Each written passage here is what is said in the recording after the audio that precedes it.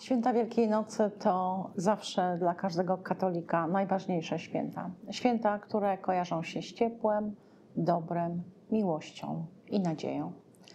W tym trudnym czasie, po wielu miesiącach pandemii, w trudnym również z tego powodu, że za naszą wschodnią granicą trwa wojna, życzę Państwu, aby te święta przyniosły radość, ciepło i dużo, dużo miłości.